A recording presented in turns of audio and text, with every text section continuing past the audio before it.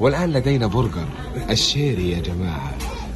نعم سوف يمسكه ويستحسن بيده ويقول يا ويلي ولاه يا إلهي. و... و... ويمضغه صح؟ نعم. نعم ويأكله. نعم ويشهينا ويمزق البرجر.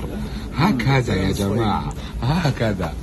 وبعد ذلك نذهب إلى اللحمة المدخنة لمدة 12 ساعة. إنها juicy. إنها جوسي يا جماعة جوسي. أتعلم ماذا يعني جوسي؟ تنقط ماء. نعم نعم نعم. اذهب إلى المعدة نعم. وبعد ذلك نذهب إلى البطيطس. إنها البطيطس بالجبنة والشيف صوص. ومعنا ثلاثة شوك ونمضغ أخرى. نعم نعم.